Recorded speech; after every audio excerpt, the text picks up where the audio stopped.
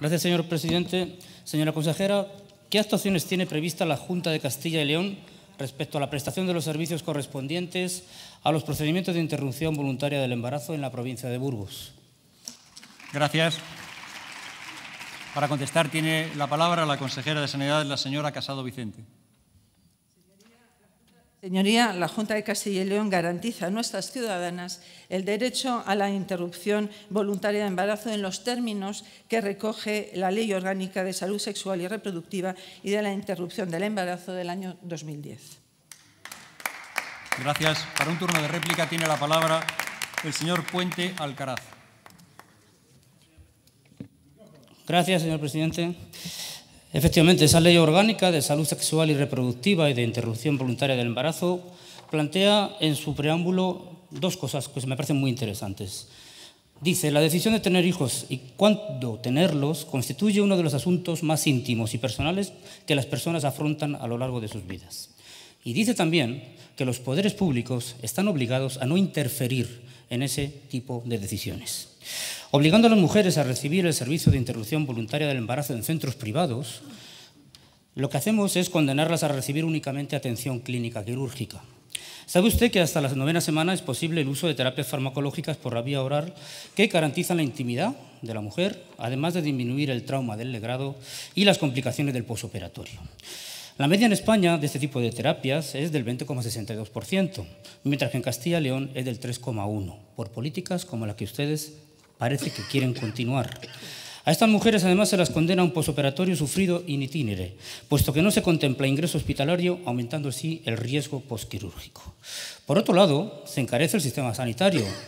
La prórroga del contrato con la clínica privada en Valladolid, que, tengo, que doy por entendido que así va a ser, van a prolongarlo un par de años más, tiene un coste de hasta 300.000 euros al año. Mantener el servicio en estas condiciones, privatizado, es claramente un posicionamiento ideológico.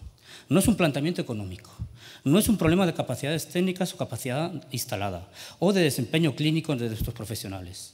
El Gobierno de Castilla y León eh, intenta obstaculizar dentro de sus posibilidades la libre decisión para la interrupción voluntaria del embarazo que toman las mujeres. Y no sé si me va a terminar utilizando la vía de escape de la objeción de conciencia, porque el rechazo o la negativa a realizar la intervención, eh, intervención de interrupción del embarazo por razones de conciencia es una decisión siempre individual del personal sanitario que debe manifestarse anticipadamente y por escrito. Les ruego que revisen y actualicen sus registros. En el Hospital Público de Miranda de Ebro, el único en todo Castilla y León donde se puede hacer en centros públicos este tipo de intervenciones, cuenta con siete, siete profesionales de ginecología y se realiza esta intervención. Nos quieren convencer de que en el Hospital Universitario de Burgos, con 23 profesionales especialistas en ginecología, todos son objetores de conciencia. No hagan trampa. ¿eh? La objeción de conciencia colectiva no es una opción, si ese es el argumento que me va a utilizar. Lo diga el jefe de servicio pertinente, lo mantengan por simple inercia o desidia los gerentes de los hospitales, o lo establezca la presidencia de Castilla y León porque presionen sectores y lobbies misóginos. Ninguna de estas situaciones es excusa para maltratar a las mujeres en nuestra provincia y, por extensión, a las de toda la comunidad autónoma. Cumplan con la ley, cumplan con las burgalesas y las castellano-leonesas e incluyan ya en la cartera de servicios de los centros sanitarios públicos la interrupción voluntaria del embarazo. Gracias. Para un turno de dúplica tiene la palabra la consejera de Sanidad, la señora Casado Vicente. Bueno, todos nosotros sabemos que una interrupción voluntaria de embarazo nunca es considerado un método anticonceptivo y es un problema, es un problema. Y es un problema evidente que tenemos que abordar desde el sistema sanitario y desde el sistema educativo. No solamente hay que resolver el problema, sino que hay que hacer prevención.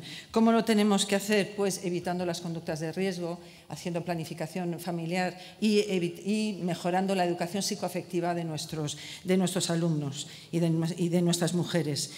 La interrupción voluntaria de embarazo es efectivamente no es un proceso fácil, es un proceso muy complejo, muy doloroso y la mayor parte de las veces es evidente que eh, es una decisión muy, muy meditada. Las tasas que nosotros tenemos en Castilla y León de interrupción voluntaria de embarazo son relativamente son bajas, es decir, estamos en un 6,6% por mil, por mil habitantes. Eh, lo que está claro es que eh, comunidades como Cataluña o como Palma de Mallorca, pues, eh, o Baleares, perdón, están en tasas en torno al 14%. nosotros estamos detrás de Galicia y detrás de Ceuta y Melilla.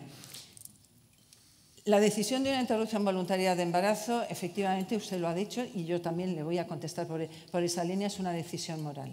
Es una decisión moral y que afecta no solamente a la persona que toma esa decisión, que evidentemente hay que respetar y que evidentemente hay que solucionar, sino también de los profesionales que lo tienen que llevar a cabo, y no solamente médicos, sino enfermeras, auxiliares, es decir, de todo el grupo que tiene que intervenir en este, este tema. Lo que está claro es que eso eh, forma parte de la objeción de conciencia individual de cada una de las personas que lo dicen, forma parte del artículo 16 de la, de la Constitución y hay sentencias del Tribunal Constitucional al respecto. Pero ya hace unas semanas solicitamos al gerente del Hospital Universitario de Burgos que iniciara el nuevo proceso para hacer una nueva valoración de aquellos profesionales que pudieran eh, implicarse en esta cartera de servicios dentro del hospital. Y esta mañana me decía que probablemente hubiera cuatro ginecólogos que estuvieran dispuestos a incluirlo en la cartera de servicios, con lo cual, si lo incluyen en la cartera de servicios, evidentemente el Hospital de Burgos hará las intervenciones eh, las interrupciones voluntarias de embarazo dentro del, sistema público. Nosotros tenemos que garantizar el derecho de la cartera de servicios, el derecho al que tienen las ciudadanas de, Burgos a que esto sea, sea así, pero también tenemos que conciliar con el ejercicio del derecho de los profesionales que evidentemente pueden objetar. Si no objetan, pues pondremos el servicio. Muchas gracias.